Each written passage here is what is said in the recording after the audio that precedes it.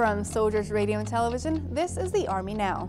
The 2012 Army Aviation Association of America Conference kicked off April 2nd in Nashville, Tennessee.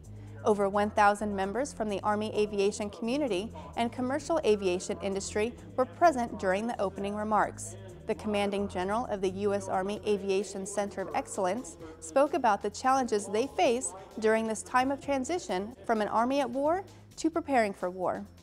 We're combat proven today, more so than ever since I've been in the Army. How do we preserve that?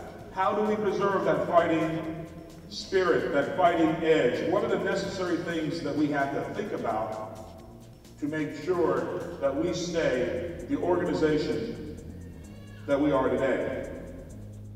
That's the Army Now from Soldiers Radio and Television.